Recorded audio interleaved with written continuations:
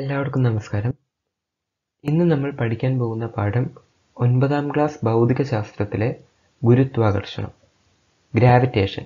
ഇതിന്റെ ഒന്നാം ഭാഗമാണ് ഇന്ന് ഈ വീഡിയോയിൽ പഠിപ്പിക്കുന്നത്. ഉള്ളടക്കം. ഇന്ന് നമ്മൾ പ്രധാനമായും മൂന്ന് കാര്യങ്ങളെ പറ്റിയാണ് പഠിക്കാൻ പോകുന്നത്. ഭൂഗുരുത്വാകർഷണ ബലം മാസ് സാർവിക ഗുരുത്വാകർഷണ നിയമം. ഈ വീഡിയോയുടെ അവസാനം കുറച്ച് ഇംഗ്ലീഷ് പദങ്ങളെ കൂടി പരിചയപ്പെടുത്തുന്നതാണ് അപ്പോൾ നമുക്ക് പാഠഭാഗത്തിലേക്ക് കടക്കാം. ഭൂഗുരുത്വാകർഷണ ബലം ഫോഴ്സ് ഓഫ് ഗ്രാവിറ്റി നമുക്കറിയാം ഭൂമി ചുറ്റുമുള്ള ഓരോ വസ്തുവിനെയും അതിന്റെ കേന്ദ്രത്തിലേക്ക് ആകർഷിക്കുന്നുണ്ട്.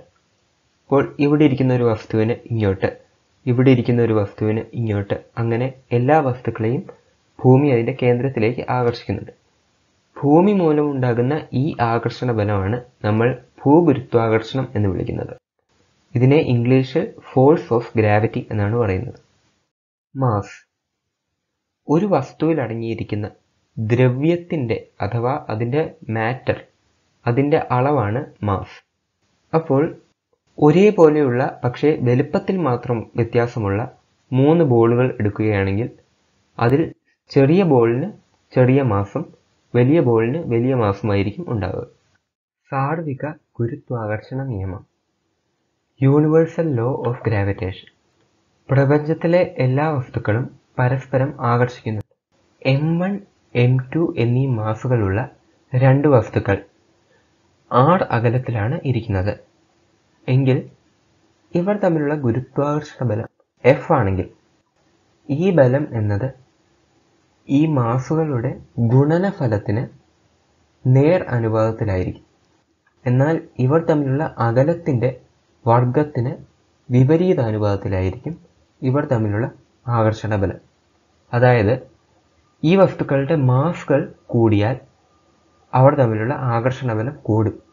പക്ഷേ ഇവർ തമ്മിലുള്ള അകലം കൂടിയാൽ ഇവർ തമ്മിലുള്ള ആകർഷണ ബലം കുറയുകയാണ് ചെയ്യുന്നത്. ഇതിനെ നമുക്ക് ചേർത്തെഴുതിയാൽ F is equal to G into M one M two by R square എന്നെഴുതാം ജി എന്നത് ഗുരുത്വാകർഷണ സ്ഥിരാങ്കം എന്നാണ് അറിയപ്പെടുന്നത്. ഇതിനെ ഇംഗ്ലീഷിൽ ഗ്രാവിറ്റേഷണൽ കോൺസ്റ്റന്റ് എന്ന് വിളിക്കും. ഇതിന്റെ മൂല്യം six point six seven into ten raise to minus eleven newton metre square per kilogram square ആണ്.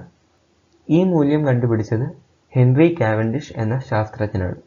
സാർവിക ഗുരുത്വാകർഷണ നിയമം അഥവാ യൂണിവേഴ്സൽ ലോ ഓഫ് ഗ്രാവിറ്റേഷൻ ആദ്യമായി ആവിഷ്കരിച്ചത് സാർ ഐസക് ന്യൂട്ടൺ ആണ് ഇപ്പോൾ നമുക്ക് രണ്ട് വസ്തുക്കളുടെ മാസുകളും അവർ തമ്മിലുള്ള അകലവും തന്നാൽ ഇവർ തമ്മിലുള്ള ഗുരുത്വാകർഷണ ബലം കണ്ടുപിടിക്കാനുള്ള സമവാക്യം നമുക്ക് ലഭിച്ചു.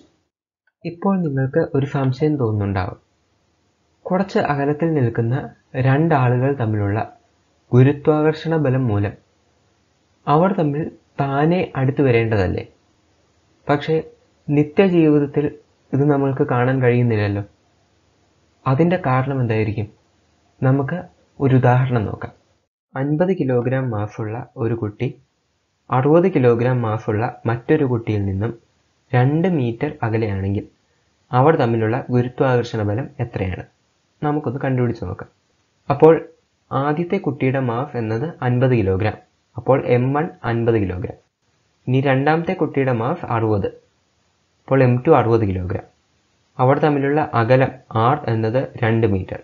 അപ്പോൾ നമ്മൾ നേരത്തെ പറഞ്ഞ സമവാക്യം എടുക്കുകയാണെങ്കിൽ F is equal to G M one M two by R square ഇതിനെ നമുക്ക് ജി എന്നത് six point six seven into ten raise to minus eleven into M one അൻപത് ഇന്റു എം ടു അറുപത് ബൈ ആർ സ്ക്വയർ എന്നത് നാല് എന്ന് വരും.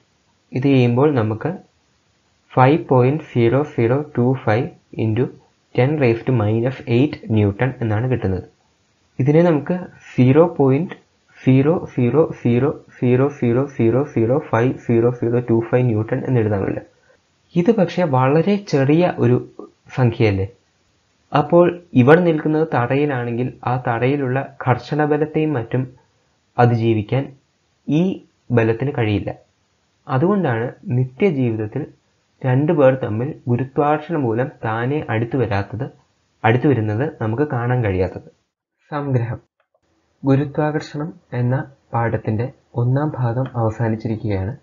ഇന്ന് നമ്മൾ പഠിച്ചത് ഗുരുത്വാകർഷണത്തെക്കുറിച്ചും എം വൺ എം ടു എന്ന മാസുള്ള മാസുകളുള്ള രണ്ട് വസ്തുക്കൾ ആർ അകലത്തിലിരിക്കുകയാണെങ്കിൽ അവർ തമ്മിലുള്ള ഗുരുത്വാകർഷണ ബലം കണ്ടുപിടിക്കാനുള്ള സമവാക്യത്തെക്കുറിച്ചുമാണ്. ഈ സമവാക്യം എന്നത് is equal to G into M one M two by R square G എന്നതിനെ ഗുരുത്വാകർഷണ സ്ഥിരാങ്കം അഥവാ ഗ്രാവിറ്റേഷണൽ കോൺസ്റ്റന്റ് എന്ന് വിളിക്കുന്നു. ഇംഗ്ലീഷ് പദങ്ങൾ. നിത്യജീവിതത്തിൽ ആവശ്യം വരുന്ന രണ്ട് ഇംഗ്ലീഷ് പദങ്ങളെ ഇന്ന് നമുക്ക് പരിചയപ്പെടാം. ഇൻഫ്ലുവൻസ് സ്വാധീനം എന്നതിന്റെ ഇംഗ്ലീഷ് വാക്കാണ് influence I N F L U E N C E he influenced me എന്ന് പറഞ്ഞാൽ അയാൾ എന്നെ സ്വാധീനിച്ചു. ഡിറ്റർമിൻ നിർണയിക്കുക എന്നതിന്റെ ഇംഗ്ലീഷ് പദമാണ് determine D E T E R M I N E determine this number എന്ന് പറഞ്ഞാൽ ഈ സംഖ്യ നിർണയിക്കൂ. ഈ വീഡിയോ കണ്ട എല്ലാവർക്കും നന്ദി. ഈ പാഠത്തിന്റെ അടുത്ത ഭാഗവുമായി നമുക്ക് അടുത്ത വീഡിയോയിൽ വീണ്ടും കണ്ടുമുട്ടാം.